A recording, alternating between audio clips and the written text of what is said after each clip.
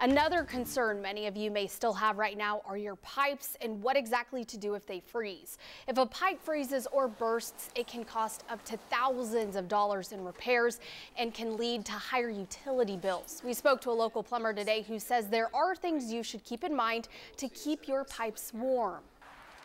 So we'll advise people to open up the cabinets, cabinet doors, and let the room temperature acclimate in there.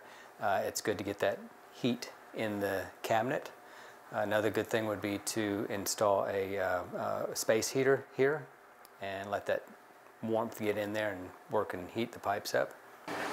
If you do have issues, call a plumber right away. Leave your faucet on and turn off your main water valve. Now that can prevent further damage.